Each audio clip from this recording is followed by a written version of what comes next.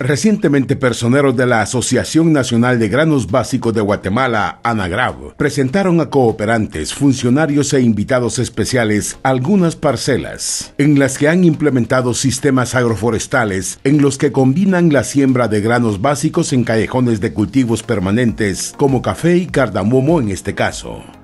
La idea nuestra es hacer un trabajo de solidaridad con el pequeño productor, el productor de subsistencia en el caso de granos básicos y ampliar estos sistemas agroforestales a otros cultivos. La idea fundamental nuestra es de colaborar tanto para ayudar al pequeño y mediano agricultor como para contribuir con medidas de mitigación para los efectos del cambio climático. Algunos de los objetivos de este tipo de asocios son la optimización del uso de la tierra, la diversificación y contribuir al bienestar del medio ambiente.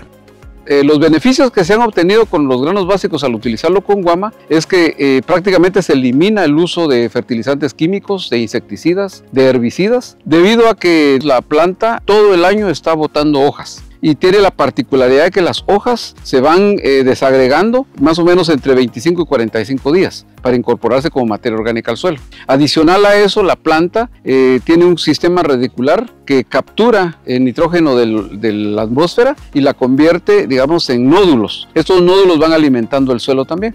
También vemos nosotros que eh, el abono pues nunca va a faltar, cada año aumenta la cantidad de nutrientes que se le agregan al suelo. Y podemos entrar a cualquier plantación de guama, como vamos a ver nosotros, genera gran cantidad de microorganismos benéficos. Y vemos nosotros esa vida grandísima de microorganismos que hay en el suelo y esto reconstruye el suelo. Si uno siembra así en campo libre, por decir así, no, sin guama, pues necesita mucho sacrificio porque por el cuidado, por el mantenimiento, por el fertilizante. Y de ahí no sale tan normal la, la cosecha. Ahora con guama es muy diferente. Ya poco trabajo lo que lleva y si muy tarda, a los tres años se puede poder, pero ya está cerrado, ya lo cubre de una vez el terreno. Y ya da leña. Así en área sin, sin guama, nos da una cuerda de 4 a 3 quintales, pero ya con guama nos sale de 6 a 7 quintales.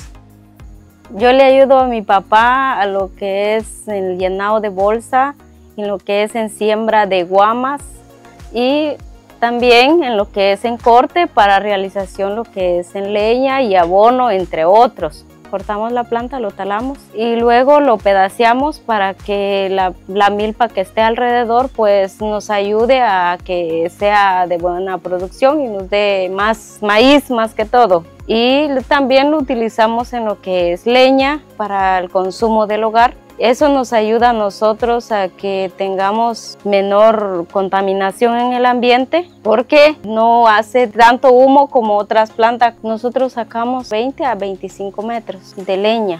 Eh, yo sembré un poquito de seis cuerdas de cardamomo.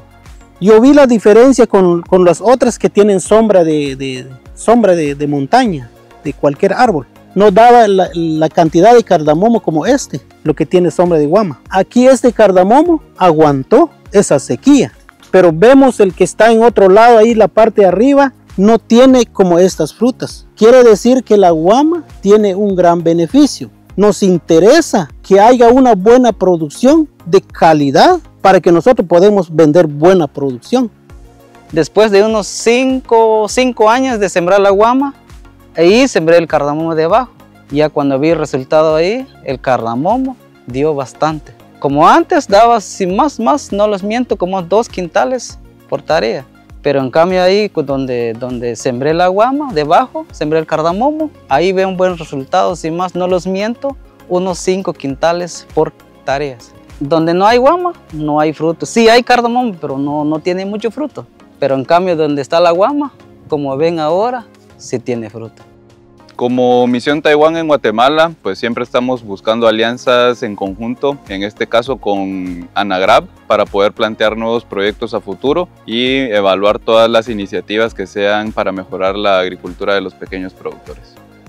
TV Agro Centroamérica felicita a Anagrao por un proyecto exitoso más que la ubican indiscutiblemente como una de las asociaciones agrícolas más activas del país, con lo que contribuyen al crecimiento de los agricultores y sobre todo afianzar la seguridad alimentaria nacional. Enhorabuena.